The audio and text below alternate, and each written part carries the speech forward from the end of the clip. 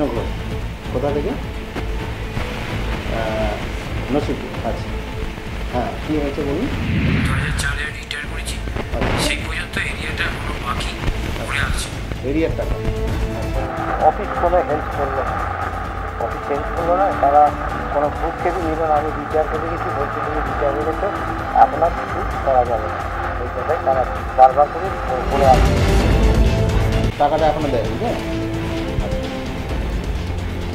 ঠিক আছে ঠিক আছে। আপনি আপনি থাকুন, আমরা।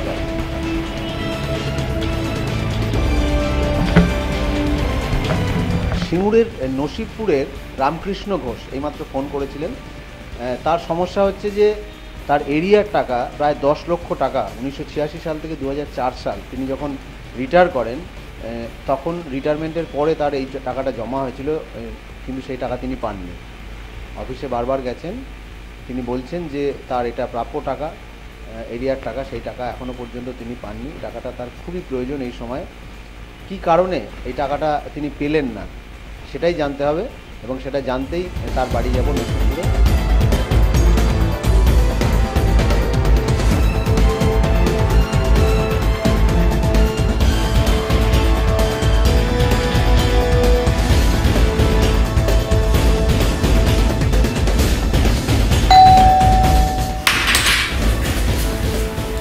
আপনি কি রামকৃষ্ণবাবু?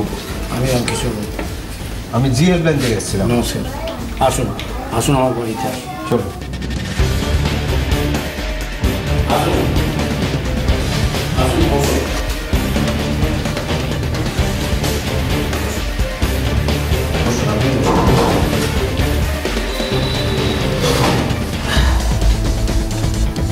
আপনি ফোন করেছিলেন জিএল ব্যাংকে কি সমস্যা আপনার?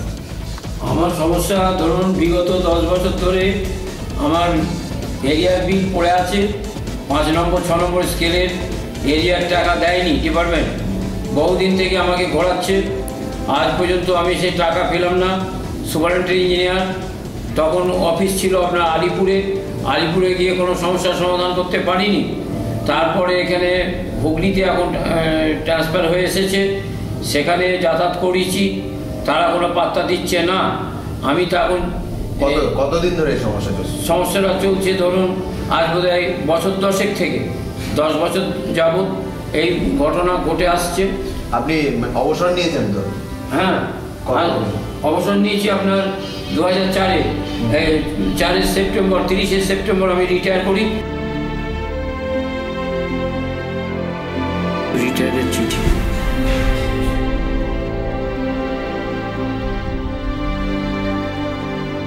কতদিনের টাকা আপনার পাওনা।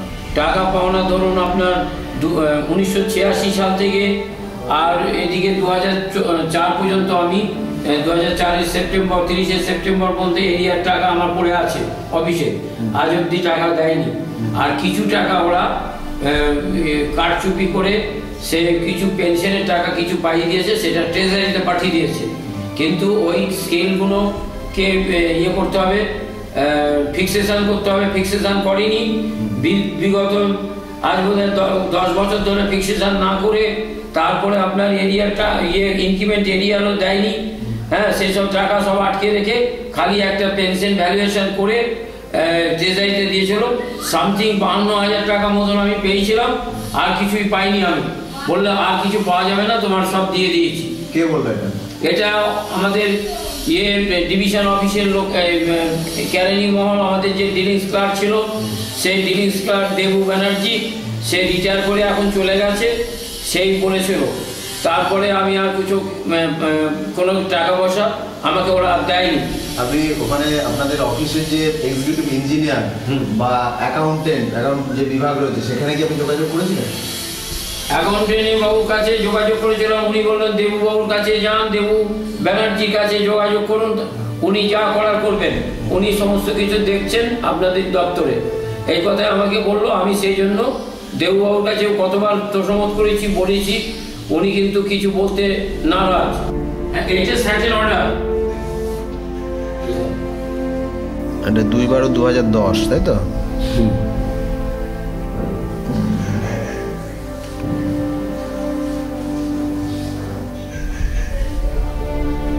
যে সুপারিনটেন্ডিং ইঞ্জিনিয়ার হ্যাঁ। State highway circle number two. PWD roads এইটা আপনার ভবানী ভবনে তখন ছিল হ্যাঁ, অফিস হ্যাঁ। মানে হচ্ছে আপনার আলিপুরে। এখন কি এটা এখন এই হুগলিতে এসছে? এখন হুগলিতে ওরা ট্রান্সফার করে নিয়ে এসছে। আচ্ছা মানে পুরো দপ্তরটা এখানে চলে এসেছে। চলে এসেছে। আচ্ছা সেখানে কি আপনি যোগাযোগ করেছিলেন? সেখানে দুবার যোগাযোগ করেছিলাম একটা দুটো অ্যাপ্লিকেশন দিয়ে এসেছিলাম এই এরিয়ার টাকা দেওয়ার জন্য। আচ্ছা। তারা বলছে এরিয়ার দিতে পারা যাবে। না। এইখানে আপনার বলেছে পিরিয়ড অফ ফোর মান্থস তাই তো? চার মাসের ডেট অফ কমিউনিকেশন হ্যাঁ চার মাসের মধ্যে এটা অর্ডারটাকে এ করতে বলেছিল কিন্তু সেটা এখনও পর্যন্ত হয়নি। দু হাজার তিরিশ বারো দু হাজার দশের অর্ডার সরকারি উকিলও ছিল। সেটা হাকিম তো বলে দিল যে যা কিছু ইয়ে আছে পেমেন্ট দিয়ে দিতে হবে। কিন্তু তারা মানতে চাইছে না, মানছে না। তারা আবার ফের কোর্টে যাওয়ার একটা প্রপোজাল ওরা মুখে বলতে পারছে না। আমি যাতে কোর্টে আবার যাই, সেই ধান আমার, সেই কোর্ট চালানোর মতন ক্ষমতা নেই। অনেক টাকা আমার চলে গেছে, প্রায় দু লাখ, আড়াই লাখ টাকা মতন চলে গেছে। সেই জন্য আমি আর রিটায়ার করে গেছি, আমার আর পয়সা করি নেই। গরিব মানুষ আমি, খুবই গরিব।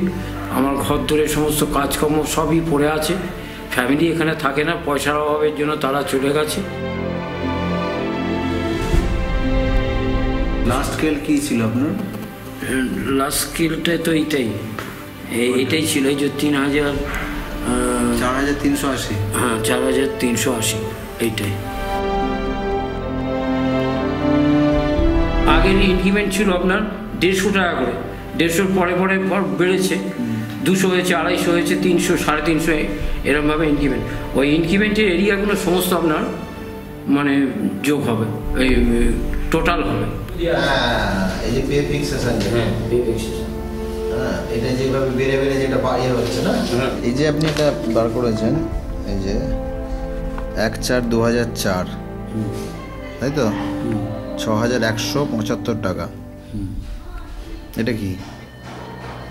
ওইটাই টোটাল মাইনেটা বারো মাসে ধরুন ইনক্রিমেন্টগুলো প্রত্যেক ইনক্রিমেন্টগুলো যোগ হয়ে যে যোগ হয়ে হয়ে ওখানে তারপরে আবার থেকে দু হাজার চার পর্যন্ত। হ্যাঁ তারপরে সিলিংগুলো বাড়বে ইনক্রিমেন্টে অনেক বাড়তি আছে বেড়েছে। এরিয়া পাওয়ার পরে ওই টাকাটার মধ্যে টোয়েন্টি ফাইভ পার্সেন্ট হ্যাঁ যোগ হয়ে যাবে পেনশনের সঙ্গে। যে টাকাটা পাবো। যে টাকাটা দেবে সেটা কত টাকা? যা প্রায় দশ লাখ মতো। দশ টাকা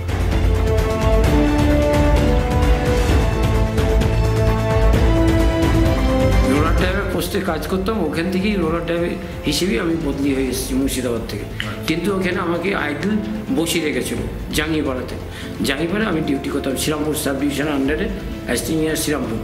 ওর আন্ডারেই এখানে যে অথরিটি মানে যার কাছে আপনি বারবার গেছেন সে কি বলছে? সে তারা বলছে না এরিয়া হবে না এরিয়া লেখা নেই। ডিপার্টমেন্ট তো আমাকে হ্যারাসমেন্ট করেছে। হ্যারাসমেন্ট করে যাতে আমি টাকা না পাই আমাকে আরও কোর্টে হেনাস্তা করার জন্য চেষ্টা করছে বিভিন্ন রকমের। তা আমি আমার লাস্টের দিকে আমার এমন অবস্থা হলো, আমার পায়খানা পেচ্ছাপ বন্ধ হয়ে গেছিল, তারপরে সে কলকাতায় ভর্তি হয়েছিলাম, নার্সিংহোমে আপনার অ্যাট্যাক্সে অ্যাট্যাক্সে ভর্তি হয়েছিলাম, তারপরে সেখানে ডাক্তার সেনগুপ্ত বলল, দেখুন, আপনার এই টাকা লাগবে মাইক্রো সার্জারিং করতে হবে। অনেক টাকার দরকার, দু লাখ টাকা মতন খরচা হবে অপারেশনে তো আমি বললাম কি, তাহলে আমি স্যার কী করব? বলে, মাই মাইক্রো সার্জারিং করতে হবে, নাহলে পরে হবে না। অপারেশন করলে আপনি হয়তো মারা যেতে পারেন। আপনার যা পরিস্থিতি। সেই জন্য আমি মাইক্রো সার্জারিংয়ের জন্য প্রস্তুতি নিলাম। প্রস্তুতি নিয়ে আমার বাড়িতে যত ফার্নিচার ছিল, সমস্ত ফার্নিচার বিক্রি করে ঘরের জিনিসপত্র, আলমারি একটা বিক্রি করলাম। তারপরে সোফা টোফা চেয়ার টেবিল খাট সমস্ত বেচে তারপরে আমি অপারেশনে অ্যাপিয়ার হলাম।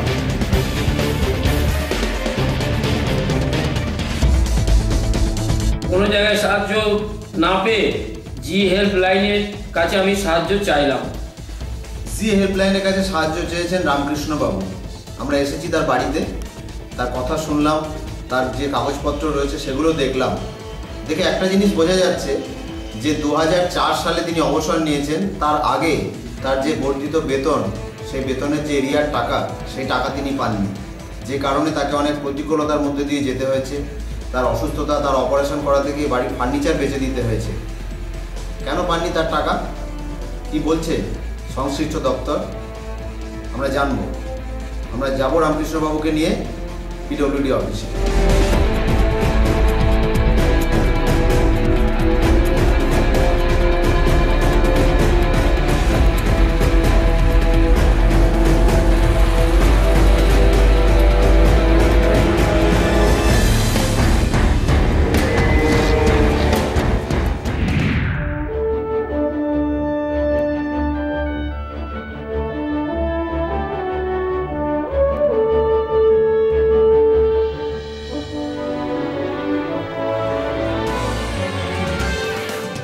মান্থলি মাসকাবারি ইনকিউবেটের বিলগুলো তো হবে। আমরা তো অবাক হয়ে গেলাম কেসটা দেখে মানে না না এটা আপনি এতদিন ঘুমোচ্ছিলেন কেন?